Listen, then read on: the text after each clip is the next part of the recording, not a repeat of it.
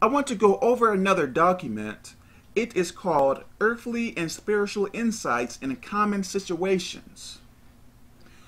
So in this exercise, we are going to go through some scenarios. In each scenario that we go through, we are going to see the earthly and spiritual point of view. You should always see things in the spiritual point of view, not in the earthly point of view. If you continue to see things in the earthly point of view, you are going to continue to stay in sin. You are going to continue to make mistakes in life, much more, or still the same. If you want change to happen, you have to see things in the spiritual point of view, as you can see here. So let's go to scenario number one. I finally decide to be obedient to God's word.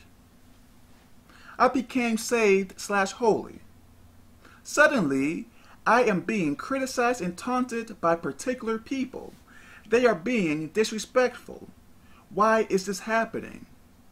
The earthly point of view, which is wrong. They are being disrespectful if they continue to act in this manner, I will hurt them. I will get my revenge. I have to reserve my honor, which is wrong, evil. Okay. The spiritual point of view. Demons are influencing or possessing these people to treat me in this manner. Satan is trying to get me back into sin. Satan knows that God has great plans for me. Satan is trying to send me to hell.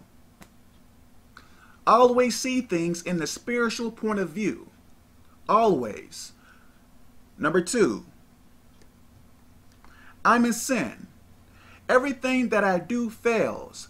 I work many jobs, but I never seem to have enough money. My health is not that great.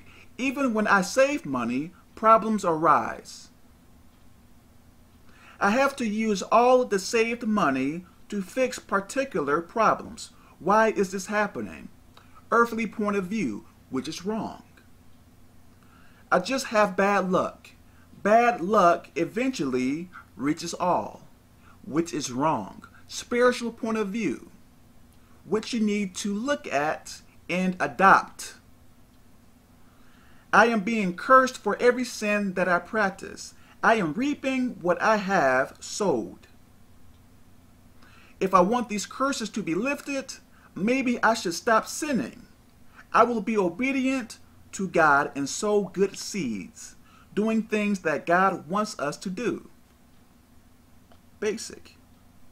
Number three, when I hang out with my friends, they drink, smoke, fornicate, which is sex before marriage, and do other things I particularly don't have interest in.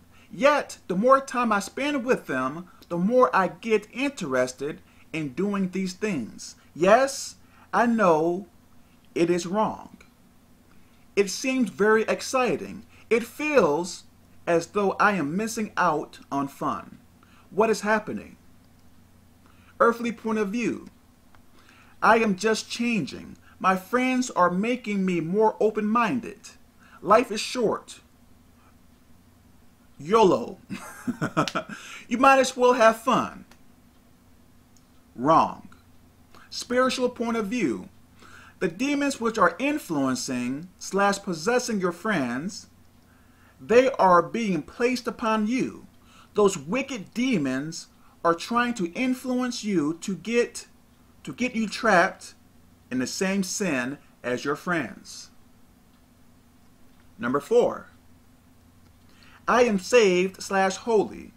I stay away from all sin, staying obedient to God. I am having horrific and perverse dreams. Random things are going wrong. My health is slightly failing. My life is becoming a tad bit more difficult. What is happening? The earthly point of view. Give me a second, please.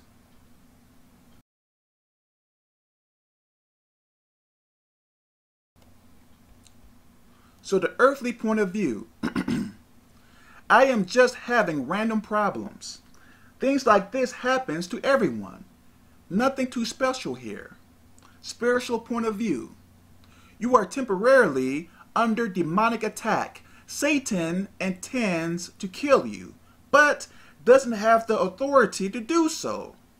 So he is trying to torment you as much as possible. He is hoping that you will give up on God and turn to sin. Once this happens, he will have more influence over your life. In other words, stay saved slash holy. Continue to pray each day as long as needed. Amen. Number five.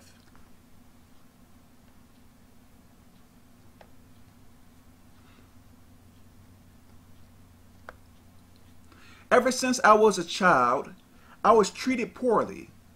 As a child, I needed guidance, but hardly found any. Love was something I sought out for, but rarely received.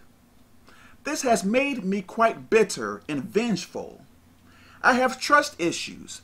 I believe in the motto, every man or woman for him or herself meaning taking care of yourself don't depend on anyone. Earthly point of view. Some people just have bad luck in life. I am just one of those type of people. There is nothing I can do about it. Wrong. Spiritual point of view. Satan used whoever was responsible for me through that through that particular person or people, I was tormented. Satan is trying to evolve me and becoming a lifelong sinner. Eventually, he will try to get me to blame God for my horrible life, saying he is not real. Even though I had a hard life, I can't reject God. If I do reject God, I will be doing Satan a great favor. I would become one of his cursed servants. Take heed to this, please. Number six, I am married. I was happy to get married at first. I found out there is a special blessing for people who are married. For some odd reason, my spouse my spouse is not acting correctly, not acting in a way which the Bible instructs us to do. I have made sure that I am not the cause of the problem. I have prayed to God for guidance. Why is this happening? Or what is happening? Earthly point of view. Well, all married couples have problems. It is normal. No need for alarm. no. Spiritual point of view. Your marriage is under demonic attack. First thing you and your spouse should do is pray consistently together. Fasting is something that should be considered. God works in order. Satan loves to pervert that order. Whatever God has established, Satan does the reverse. So this is the end. I really hope you all understand this and really take heed to this. This is really going to help you. Look at things in the spiritual, not in the natural. If you do this, you are going to understand things much more better. Take heed to this. God bless.